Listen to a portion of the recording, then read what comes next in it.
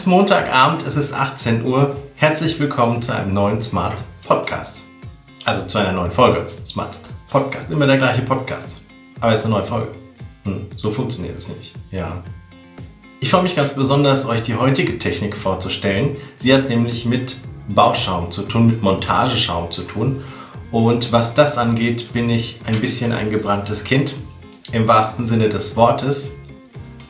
Da gibt es eine kleine Geschichte dazu. Vielleicht rückt ihr alle ein bisschen näher ans Feuer und dann erzähle ich euch die Geschichte.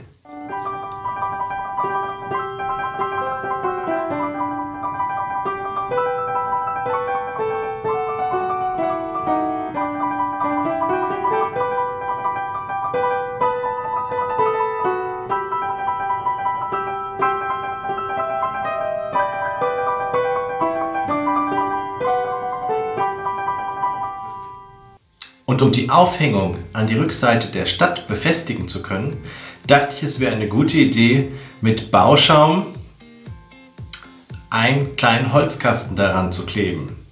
Nicht wissend, dass dieser Bauschaum mit einem hochentzündlichen Gas aus der Flasche getrieben wird.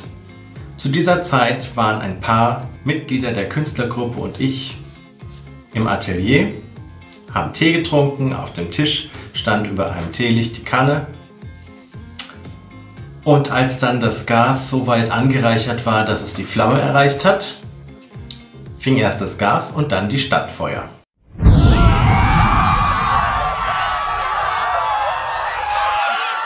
Ich konnte die Arbeit zwar noch retten, aber es sind heute noch Brandspuren auf der Rückseite zu erkennen. Und seitdem war ich nicht mehr so scharf drauf, was mit Montagekleber zu machen. Aber ich kann euch und meinem Vermieter versichern, es gibt hier weit und breit kein offenes Feuer heute. Wir beginnen damit, indem wir die Leinwand, wir arbeiten übrigens heute wieder auf Leinwand, die Leinwand befeuchten und den Bauschaum auftragen und sofort verspachteln, weil der wird bis zu dreimal so groß, wie er aufs, auf die Leinwand kommt und das muss wirklich sehr schnell gehen. Und dann muss er erstmal trocknen würde ich sagen, legen wir los.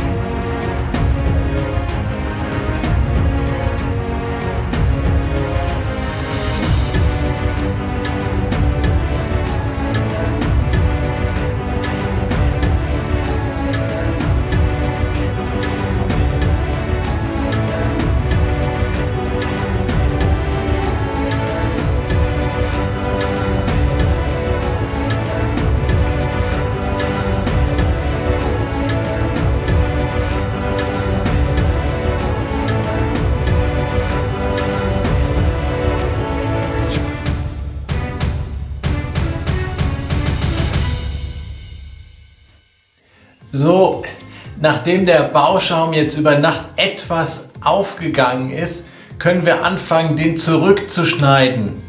Bisschen, ist ein bisschen viel geworden. Hm? Und dann bemalen wir ihn weiter, ja?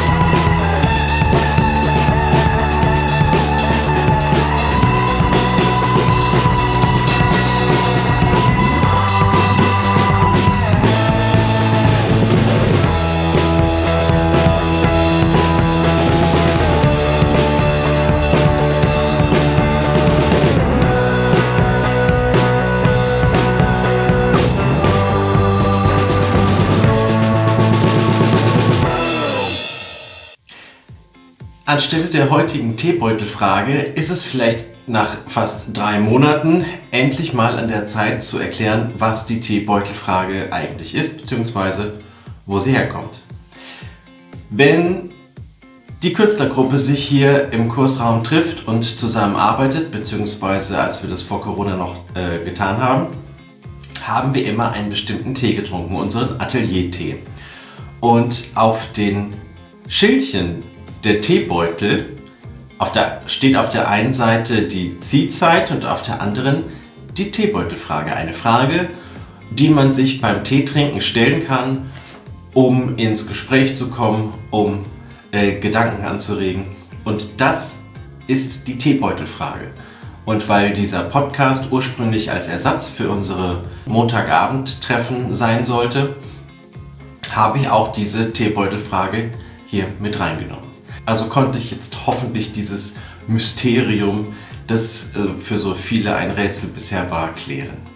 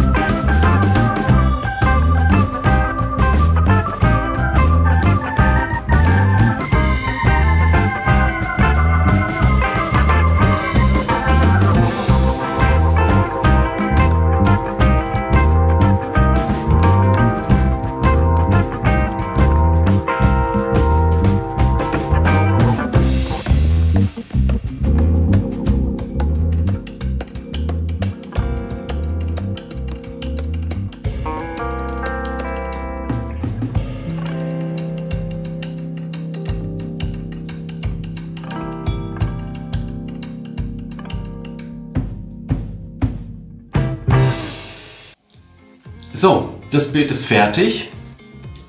Ich blende es mal eben ein. Ich finde, es ist wieder eine sehr, sehr interessante Technik. Es ist ein bisschen knifflig mit diesem äh, Montageschaum zu arbeiten, weil er doch auf der einen Seite sehr klebrig ist und auf der anderen Seite muss man ihn wirklich sehr sparsam dosieren, weil er noch sehr aufgeht. Aber sobald er einmal fest geworden ist, kann man ihn relativ gut äh, bemalen. Ihr müsst zwar darauf achten, dass ihr die Farbe nicht zu verdünnt auftragt, weil dann deckt sie nicht sehr gut, dann muss man vielleicht ein paar Mal drüber gehen. Aber gerade bei, bei dieser ganz normalen äh, Acrylfarbe hält die eigentlich schon beim ersten Auftrag sehr gut, wenn er so unverdünnt auftragt. Mich erinnert das Bild ein bisschen an ein, vielleicht an ein Satellitenbild von einer Landschaft, von einer Wüstenlandschaft oder so. Es ist dann doch ein bisschen mehr Gold geworden, als ich dachte. Es ist aber okay, finde ich. Also, mir gefällt's. Und das war's auch schon wieder für diese Woche. Ich hoffe, ihr fandet die Technik genauso interessant wie ich. Ich weiß, dass ich damit auf jeden Fall noch weitere Bilder malen werde, bzw. arbeiten werde. Und wünsche euch jetzt noch eine schöne Woche. Macht's gut und bis bald. Es ist Montagabend, es ist 8. Herzlich willkommen zu einer neuen Folge Traumschiff. Herzlich willkommen zu einer neuen, zu einem, sag mal,